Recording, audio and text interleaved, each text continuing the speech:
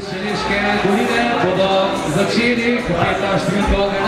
Cenjene gledalke in gledalci, lepo zdrav iz Šentjura, iz Šentjurja iz dvorane Hruševec. Danes bomo pospremili tekmo petega kroga košarkarjev v Ligi za obstanek, nasprotnika pa domači Tajfun in pa Elektra Šoštanja, torej regijski obračun regijska rivala in sila pomembna je tale tekma za obe ekipi, kajti obe ekipi se borita, da ostaneta v ligi, da ostaneta v prvoligaški druščini in vsaka tekma šteje in nič drugače ne bo danes tukaj v Šentjurju. To sta ekipi, ki sta na lestvici skupaj na zadnjih dveh mestih in zadnje pelje v nižji rang tekmovanja, torej v drugo ligo in seveda si obe zasedbi želita, da se otreseta tega mestva. Prvi napad na tekmi bo pripadel gostom iz Šoštanja, ko si nasproti stojita domači trener Edi Dželalja in gostujoči Vladimir Rizman. Ta je pa vsem preporodil ekipo, prišel je pred tremi krogi in Elektra je nanizala tri zmage. No, Šentjurčani so v preteklem krogu slavili na gostovanju v Grsuplju. Opisali so sila pomembno zmago, zdaj pa je tam Zimič uspešno blokiral Luko Dimca in Šentjurčani so se v prvem gostujočem napadu ubranili. So pa tudi oni zapravili prvega. Torej, peti krok v Ligi za obstanek. Danes na sporedu še obračun Maribor Slovan ter Portoroš Grosuplje. Torej, tri tekme. Zdaj še enkrat goste iščejo ta prvi koš in Šentjurčani so se znova obranili. Torej, po prvi dobri minuti tekme v Hruševcu še vedno nič proti nič. Zdaj pa prva osebna napaka, ki si jo je prislužil gostujoči igralec Luka Dimec. Tole bo žoga iz strani.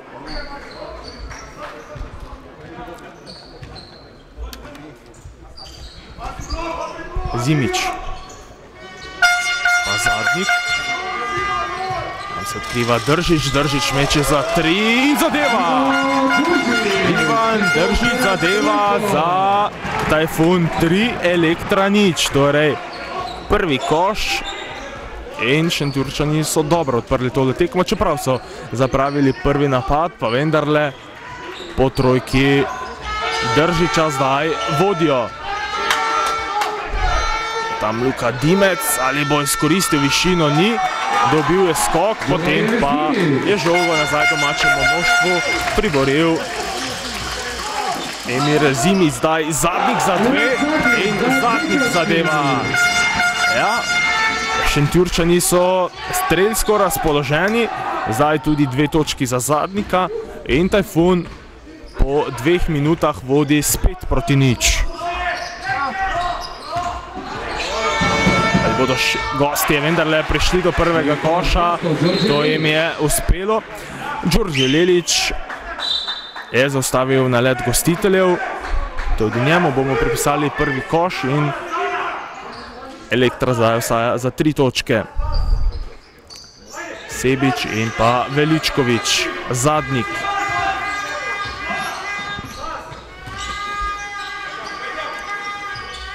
Držič spet poskuša in tudi tole je zadev Ivan Držič. Pet točk že Ivana Držiča. Sprva trojka, zdaj še med za dve točki in Tajfun spet vodi za pet. Zagorc je pri žogi še vedno žiga Zagorc, iskal je tam Luko Dimca, pa ni zadev, zadnjik zdaj drvi na drugo stran. Tam se mu odkriva Držič in Držič zadeva. Držič zadeva njegovih sedem točk, odlično.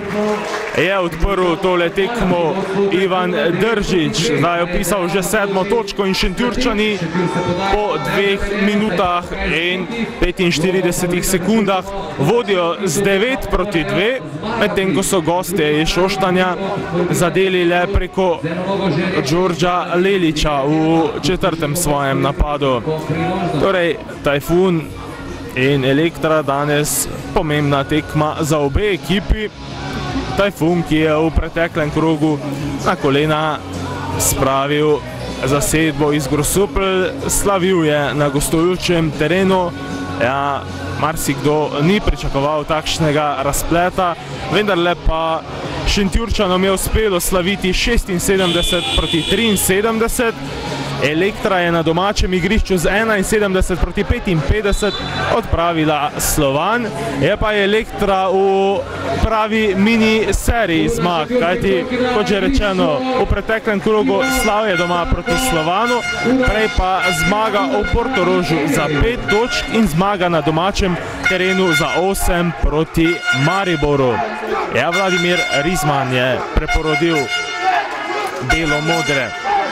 Videli pa bomo, ali lahko Elektra tudi tukaj v Hruševcu pride že do morebitne četrte zaporedne zmage. Seveda do konca je izjemno dolgo, Šentjurčani pa so več kot uspešno odprli tole tekmo s prednostjo 9 proti 2, ko je moral trener Elektra Vladimir Rizman vzeti minuto odmora. Tole je bil poizkus za tri, potem pa je skok dobil tam Luka Dimec. Torej, prvi koš za Luko Dimca, ko je za tri točke zgrešil Đorđe Lelič. Sebič pa zadnik, tam blok Držiča, Držič je zdaj na trojki, sam gre proti obroču in zadeva. Izjemni Ivan Držič, že deveta točka in kar nekako sam v teh v začetnih minutah igra proti Elektri, ki nima prave obrambe za njega. Spet Dimec, ob njem držiš, potem pa se Dimec zapletel, a je tam žogo nazaj vzel Ale Šlutej, še vedno Alja Šlutej, ki ni zadev, Šentjurčani pa so se obranili, malce nervoze, a na koncu žoga pri zadniku. Zadnji, kdo? Sebiča, vendarle pa z osebno napako ga je tam zaustavil Đorđe Lelič. Tole bosta dva prosta meta za Stanka Sebiča.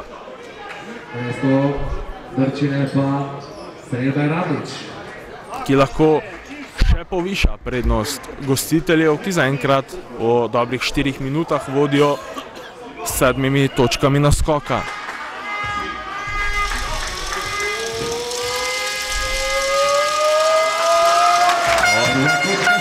Stanko Sebič je v prvo zadev in se tudi sam upisal na listo streljcev. Prva točka. Šentjur zdaj vodi za 8. In za 9. Stanko Sebič je bil obakrat natančen. In zdaj prednost domačega moštva, ki ga vodi Edi Dželalja iz napada v napad raste. Zdaj je tam lepo prodrl Urban Bukovič, a so ga domači košarkari dobro zaustavili. In zdaj so spet v napadu za povišanje prednosti. Zimič je zadev. Emir Zimič mimo Luke Dimca, ki ni imel rešitve za njim. Tudi Zimič se je zdaj upisal med streljce. 15 proti 4 je že, torej plus 11 za Tajfun. In pa prva osebna napaka za Ivana Držiča.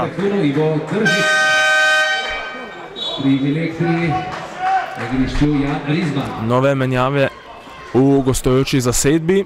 Trener Vladimir Rizman išče morebitne razigrane košarkarje, ki bi lahko vrnili elektro v igro, potem pa odlično obrambi tam Emir Zimič, ki ni zadev.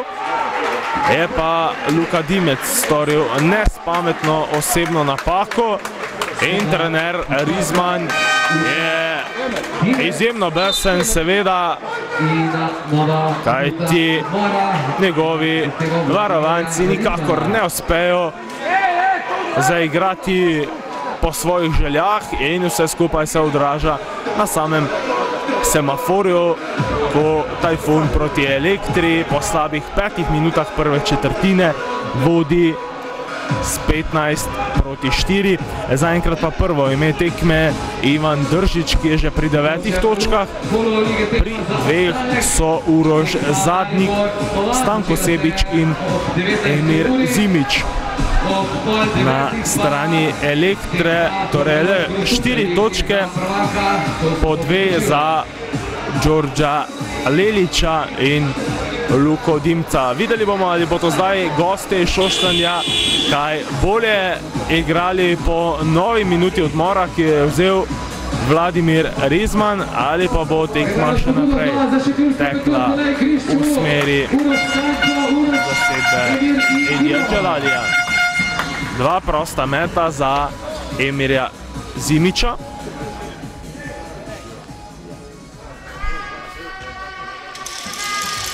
Torej, Emir Zimič je zaenkrat pri dveh točkah, priložnost, da piše še dve. Eno mu je že uspelo in je skupno pri treh. Šentjurčani pa vodijo že za 12, 16 proti 4. V drugo Zimič nenatančen, no skok je dobil Luka Dimec. Šlutej pa Dimec, tam se odkriva Bukovič. Potem je lepo praznino izkoristil Luka Dimec, ki se je izvrstno znašel tam v raketi, obšel Zimiča in upisal četrto točko. Zdaj Elektra zaostaja za deset, zadnjik. Stanko Sebič, pet zadnjik, še 8 sekund za napad, zadnjik za dve, ni zadev. Potem je tam žogo lovil Ivan Držič, a je na koncu v rokah Urbana Bukoviča. Rizman do Dimca, ta spet do Bukoviča. Še 7 sekund je ostalo Elektri, Luka Dimec, tudi tole je zadev. 6 točk Luke Dimca in zdaj Dimec nekako odgovarja. Ivanu Držiču, domačemu košarkarju, ki je pri devetih točkah. Elektra zaostaja za osem. Držič, a me lepo iskal Zimiča, ki pa ni ulovil žoge. Šlutej na drugi strani. Šlutej, njegov prvi koš. In zdaj se je Elektra na hitro vsaj nekoliko približala iz šestih točk oziroma na šest točk je prišla iz zaostanka dvanajstih. Torej prepolovila je sam zaostanek in zdaj zagotovo trener Vladimir Rizman vsaj nekoliko lažje diha. Zaenkrat pa streljci pri Elektri, šest točk Luka Dimec, po dve Aljaš Šlutej in Đorđe Leleča. Sila živahno in zanimivo bo še v naslednjih krogih, ko se bo odločalo, katera ekipa bo obstala v ligi in katera bo morala v novi sezoni tekmovati v rangu nižje. No, Tajfun čaka sprva še ena domača tekma, ko bodo Šentjurčani v domači dvorani prihodnji teden gostili moštvo Maribora, potem pa jih bo pot popeljala v Portorož, torej na obalo, zatem bo sledila domača tekma s Slovanom, torej to bo tretja tekma, potem pa še ena domača tekma, Tajfun Grosuplje in za konec bodo Šentjurčani gostovali v Šoštanju, ker se bodo pomerili z nasprotnikom, s katerim se merijo danes, torej Šoštansko elektro. Vse skupaj se bo končalo 22. aprila, torej Šentjurčani bodo sezono sklenili v Šoštanju. Prvo osebno napako je prejel Bajramlič, Primorac pa v prvo ni bil natančen, kako bo v drugo, tudi v drugo ne. Tam pa je zdaj osebno napako dobil Luka Dimec, spet nespametna za gostujočega centra, ki ga je zdaj Vladimir Rizman potegnil iz igre, namesto njega Roger Prist. Stanko Sebič pa ima na voljo dva prosta meta in priložnost, da Šentjurčane znova popelje na plus 8. No, tudi Stanko Sebič ne zadeva iza črte prostih metov. Primorac je prej dvakrat zgrešil. Ali bo Sebič saj enkrat natančen? Da. Stanko Sebič je pri treh točkah in vse točke je zaenkrat dosegel iza črte prostih metov. Šlutej.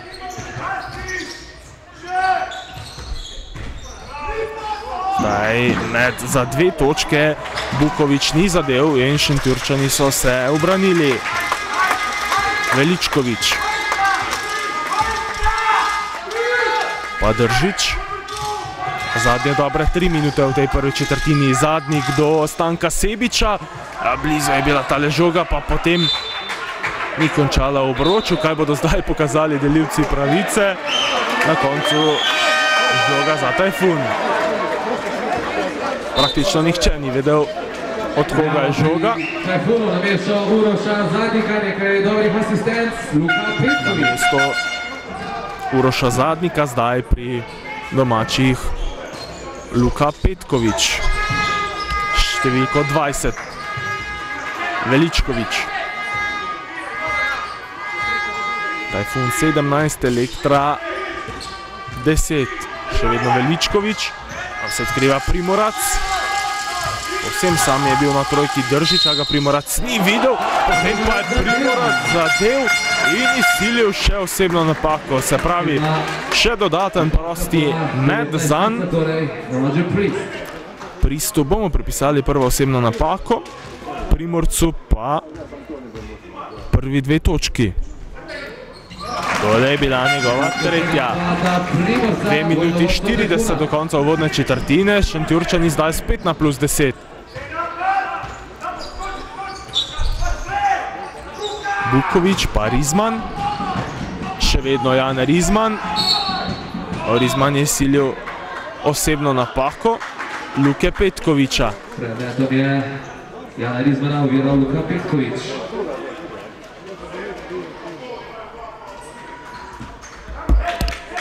Šoštančani so že izpolnili bonus, medtem so Šentjurčani pri dveh osebnih napakah. Tam se je lepo odkril zdaj Jan Rizman, z osebno napako pa ga je zaustavil Uroš Veličkovič. Sedaj napaka Uroš Veličkovič. Kaka dva, ej! Tole bosta dva prosta meta za mlada, mladega Jana Rizmana. Tudi Rizman pa ni ravno zanesljiv iza črte prostih metov, sicer sin trenerja Vladimirja Rizmana. Tako bo v drugo. No, v drugo je Rizman zadev in opisal prvo točko na tekmi. Elektra na minus 9. Veličkovič. Še vedno Veličkovič. Dobro tam prodrl in našel v raketi Ivana Držiča. Ta je že pri 11 točkah, torej polovico točk moštva Tajfuna zaenkrat na kontu Ivana Držiča. Bukovič je tam želel zaključiti, pa potem ni moral, potem pa je za tri poizkusil Jan Rizman, ni zadev. Na koncu bomo dve točki pripisali Sanelu Bajramliču. Torej, dve točki, ko je. Tajfun na lahek način izpustil tale skok in potem prejel koš. Elektra spet zaostaja za 9.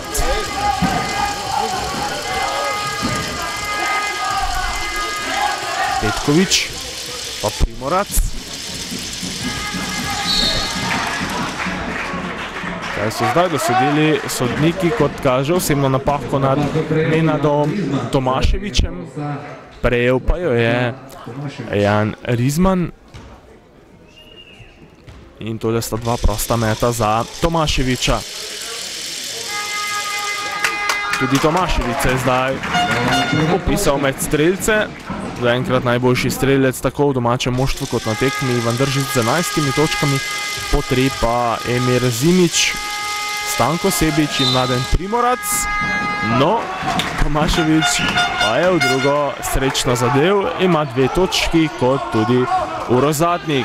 Tajfun 24, Elektra 13, še minuta in 10 sekund do konca prve četrtine. Bukovič, oziroma tole je, ja seveda Bukovič je tole bil, Šlutej, tam je Veličkovič želel izsiliti osebno napako, a je ni, potem pa so goste Šoštana znova zapravili napad. Veličkovič zdaj seveda mirno organizira nov napad, kajti Šentjurčanom se seveda nikamor ne mudi, ko vodijo za 11. Petkovič, pa tam Tomaševič, ki je iskal Veličkoviča, a je tole žogo poslal v avt.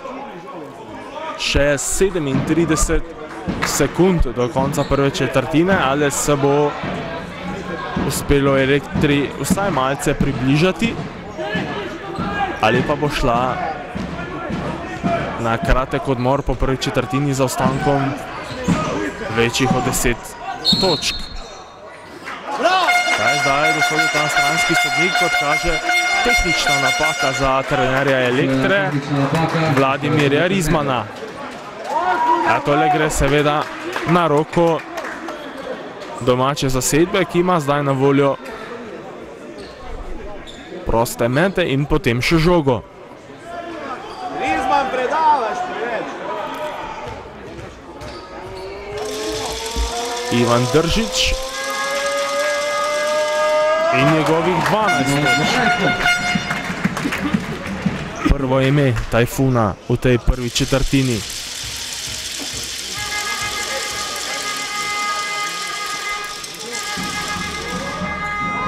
Držič izjemno zanesil nocoj in da je že pri 14 točkah. Šentjurčani vodijo z najvišjo prednostjo plus 13, pol minute do konca prve četrtine. Veličkovič. Ob njem je Aljaš Šlutej. Še 10 sekund za napad. Tajfuna, 15 do konca prve četrtine. Veličkovič, tam je iskal Primorca, ki ni zadev. Potem pa je Petkovič želel pobrati žogo, a je ni. Na drugi strani pa osebna napaka mladena Primorca, to je njegova prva. In šele zdaj so Šentjurčani izpolnili bonus, torej pametna mala osebna napaka je bila to. 6 sekund do konca prve četrtine. Iz avta Sanel Bajramnič. Kaj bodo naredili šoštančani v samih izdihljajih prve četrtine. Tole je bil poizkus za dve točki. Metal je Jan Rizman, potem nekaj skokov pod obročem in vsega je konec. Konec prve četrtine, Tajfun 26, Elektra 13.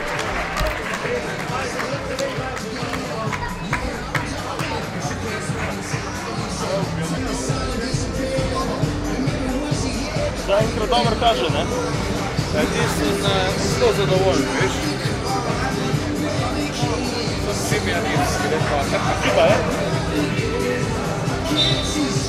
Tudi zadnji bi rekel, ja, ker takav. Šentjurčani vodijo 13, zdaj ima še eno spodbudo na igrišču.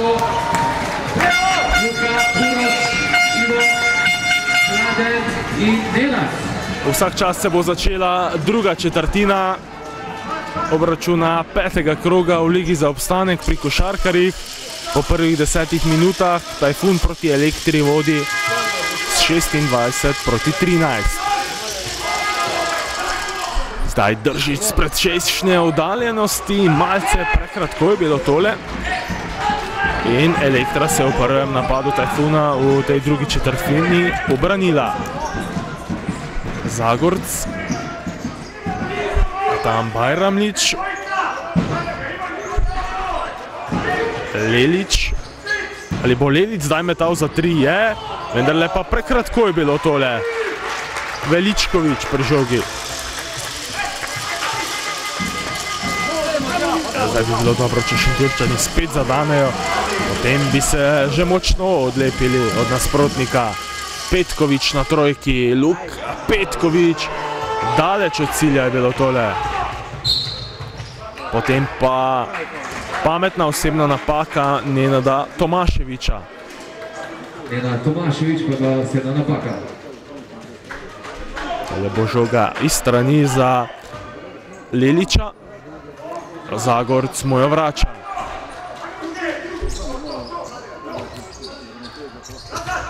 Rizman, ja, tam je iskal Prista, a tole je bila nenatančna podaja, neugodna in Prist je ni ulovil. Petkovič, pa Veličkovič, Tomaševič, Držič, zdaj je lepo mimo obrambe. Domači igralci Mladen Primorac je na koncu metal za dve ter zadev. Zdaj Tajfun vodi že za 15, 28 proti 13.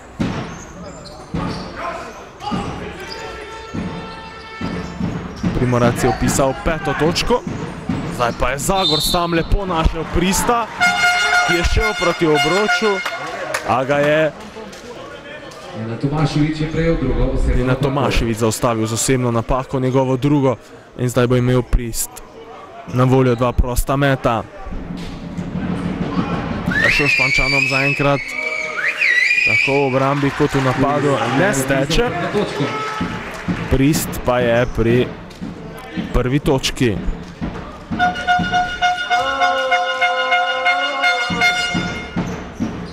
In še pri drugi.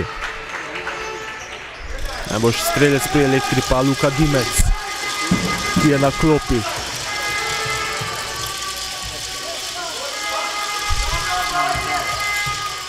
Primorac tam ni našel poti do obroča. Kaj bodo zdaj naredili Šentjurčani? Držič, Držič meče za dve in zadeva. Ivo Držič, 16 točk Ivana Držiča. Šentjurčani spet vodijo za 15. Ja, razigranje Ivan Držič, 16 točk že po 12 minutah tekme. Nova osebna napaka, tretja za Tajfun v tej drugi četrtini. Zdaj bo Uroša. Veličkoviča zamenjal Milan Sebič, ki je nocoj prvič na parketu. Zagorc. Zdaj išče tam Prista, pa Rizman. Jan Rizman za tri, ni zadev.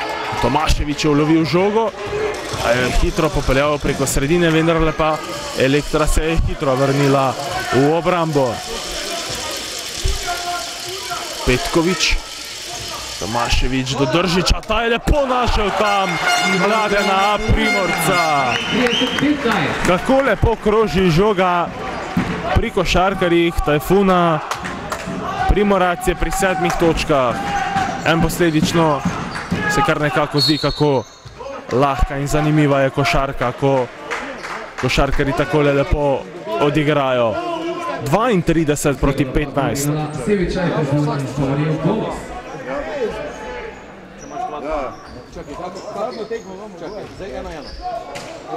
Sebič si je prislužil prvo osebno napako, s tem so gostitelji izpolnili bonus, medtem ko Elektra v tej drugi četrtini nima še nobene osebne napake. Rizman. Jan Rizman za dve, tudi v drugem zaporednem napadu, ko je metal, ni zadev.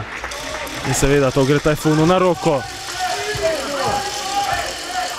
Še naprej conska obramba Elektre ki zaostaja za 17. Držič za dve in zadev je. Pa je zdaj zadev Ivo Držič. Ob tem je izsilil še osebno napako. 18 točk Ivana Držiča. Res fantastičen začetek. Ne začetek, temveč tudi nadaljevanje, kajti tako v prvi kot v drugi četrtini Držič odlično igra. Po drugi osebni napaki Prista pa ima priložnost Držič, da prednost Tajfuna popelje na 20 točk in to mu je uspelo. 19 točk Ivana Držiča. Tajfun zdaj vodi s 35 proti 15. Četrta minuta druge četrtine. Ali se lahko Elektra pobere že v tem prvem polčasu, no Luka Dimec je prišel do osme točke.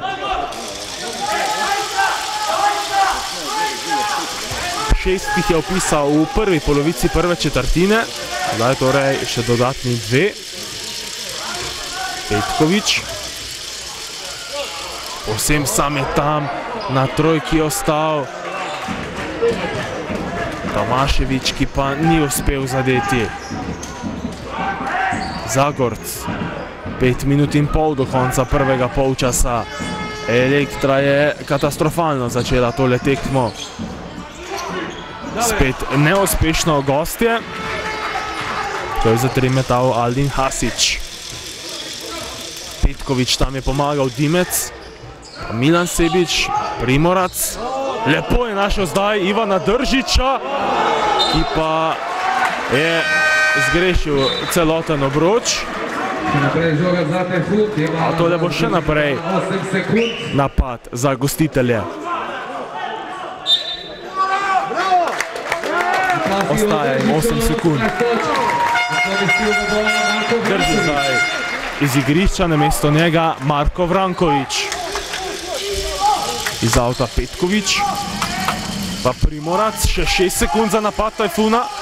Primorac zdaj za dve popravlja pa Vrankovič. Prvi dve točki zanj. 8 sekund je bil v igri in evo ga, že prvi koš. Tajfun spet na plus 20. Lilič, blok Dimca. Krije ga Primorac, kateremu je zdaj Lilič ušel in Primorac ga je zastavil z osebno napako. Tole bo druga zanj. In pa seveda dva prosta meta za Liliča. Zimič bo prišel nazaj v igro. Primorac zapušča parket.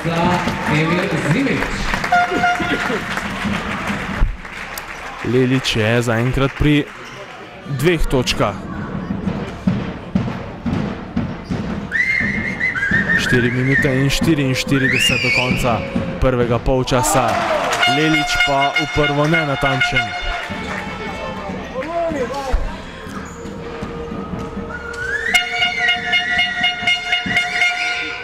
No, drugo je Đorđe Lelič zadev skupnih njegovi oziroma njegove tri točke pri prednosti Tajfuna za 19. Zimič, tam Tomaševič za dve, ni zadev na koncu, je žogo tik pred avtom ulovil Dimec.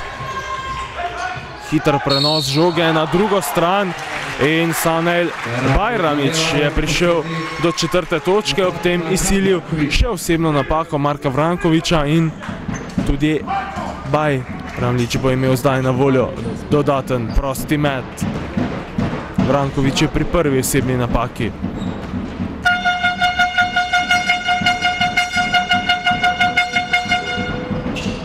Bajramlič pa pri petih točkah.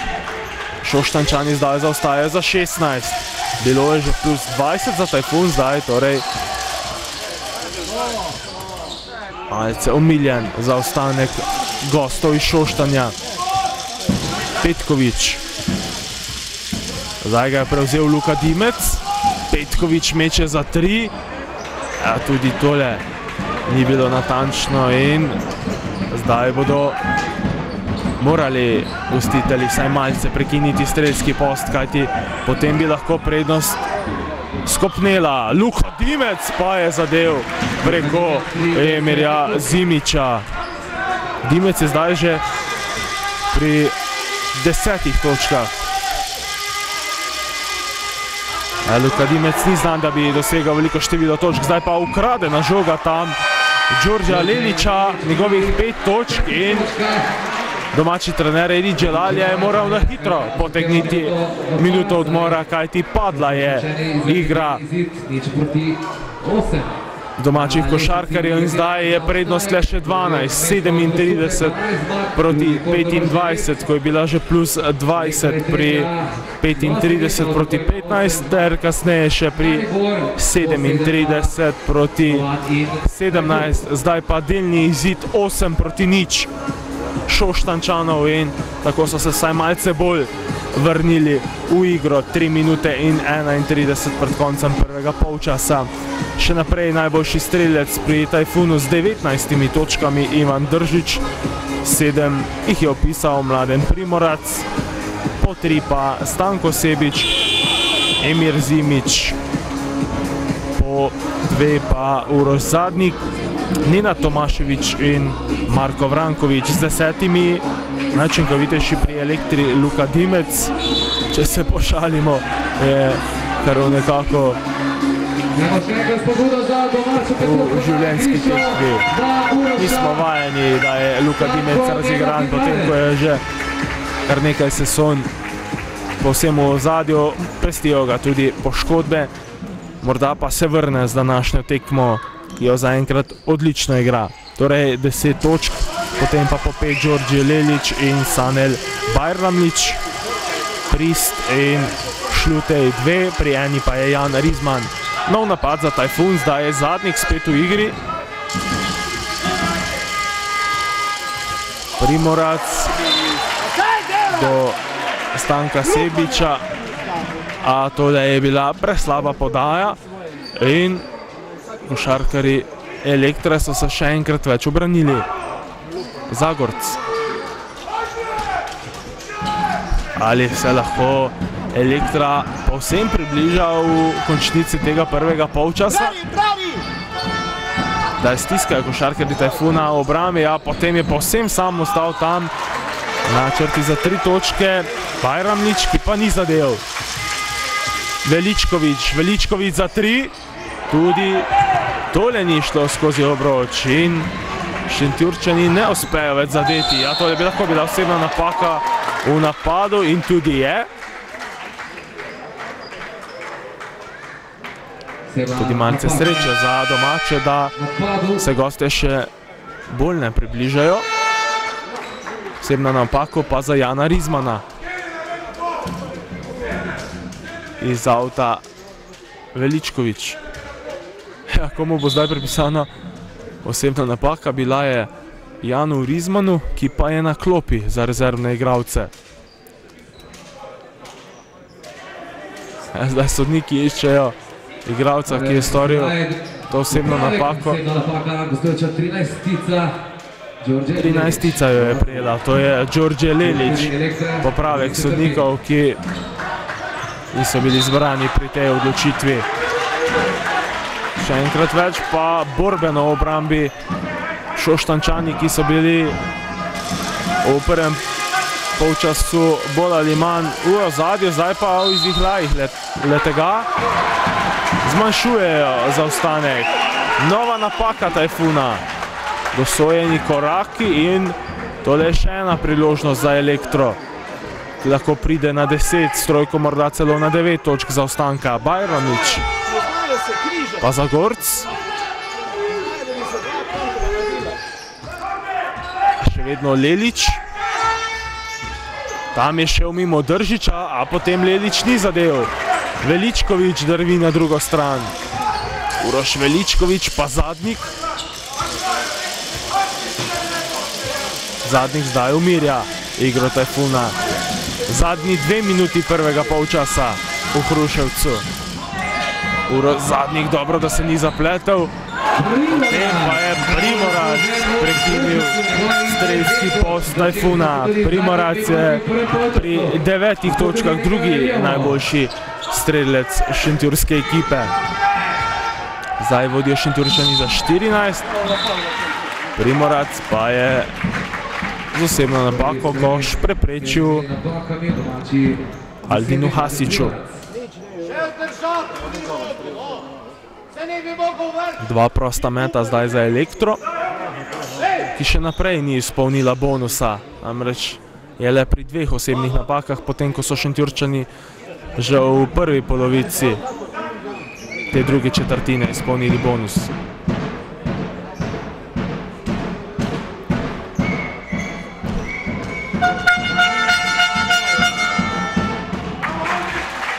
Točka 19-letnega Alina Hasiča.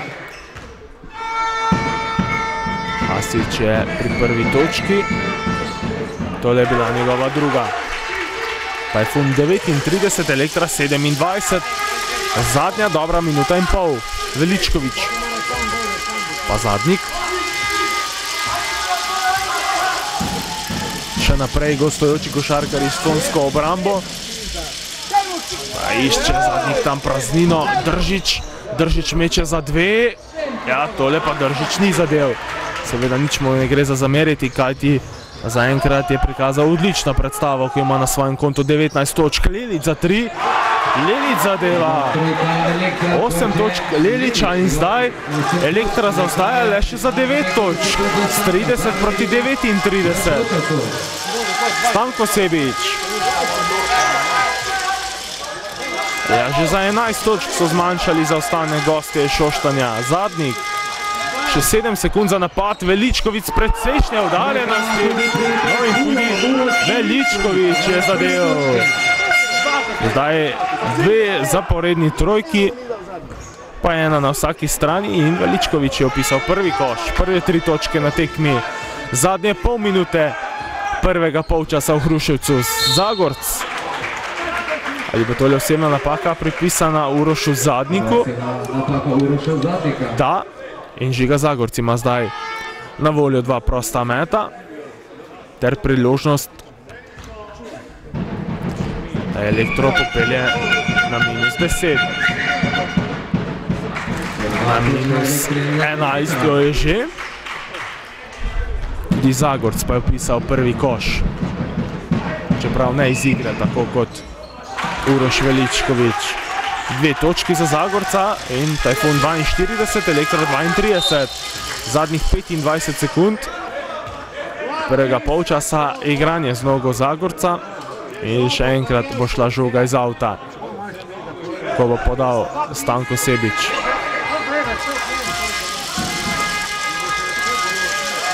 Veličkovič, zadnjik mu vrača žogo, še 15 sekund.